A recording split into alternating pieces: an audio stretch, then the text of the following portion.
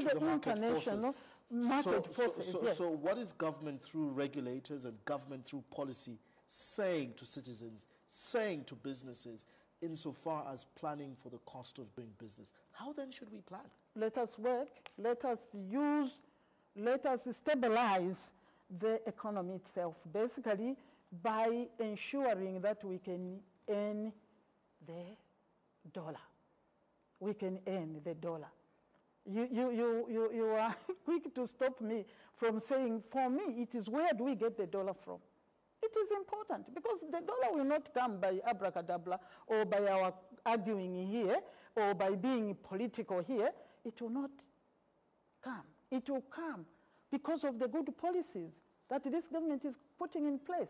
The good policies that is in, you know, attracting investment into the country, investment that will grow the local economy through manufacturing, the good policies that will make the mining industry grow and once again bring the much needed forex, which makes the dollar, you know, our kwacha stronger.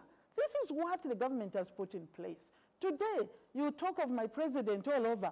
He has gone to negotiate, and you have seen the goodwill. So much commitment from people that want to invest here. This is the hope that I can give to the Zambians, that there are many investors that want to come and invest in our country. And as they invest, what will come is they will bring mm. the dollar. And when the dollar comes, which shouldn't be you know, we can work hard together. And, uh, you know, I hate to give timelines because our plan, for example, if I tell you about Mopani, Mopani has already brought in some money, some dollar.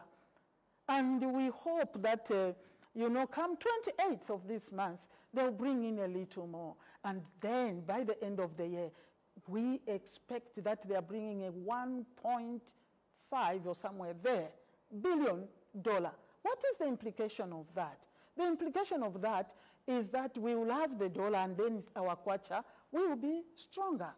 That is what No, it no, means. no. We also have investment that is coming through Lumwana, my dear. When that comes also, they have committed 2 billion. The project has begun. So we are expecting this filtering in of money. We cannot change, we cannot make the kwacha stronger without having what to sell in order to bring Agreed, agreed, Madam Vice President.